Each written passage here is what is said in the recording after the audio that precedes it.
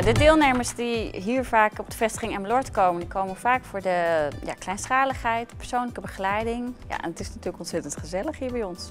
De lokale hier, eh, zoals je hier ziet, is het eh, praktijklokaal. Dus hier krijg je ook alle vaardigheden. En eh, hier wordt alles in de praktijk geoefend eigenlijk.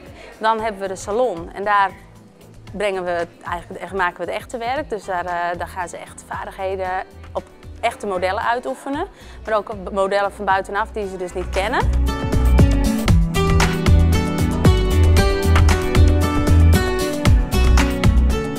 Als je dus de gewone driejarige opleiding schoonheidsverzorging hebt gedaan, zou je nog een jaar eraan vast kunnen plakken. Dat heet het wellness, de wellnessopleiding. En dan krijg je nog allerlei specifieke vakken, zoals aromatherapie, thalassotherapie, acne, shihatsu. Eigenlijk allemaal hele erg leuke dingen. Je zou in een schoonheidssalon kunnen werken, bij een beauty farm, sauna. Maar je kunt bijvoorbeeld ook een accountmanager worden voor een leuke cosmetica merk. Dus lekker in je autootje bij allerlei bedrijven langs. Je hebt eh, heel veel meiden die natuurlijk het, het, het kappersvak ingaan, die, eh, die ja, in een bedrijf gaan werken.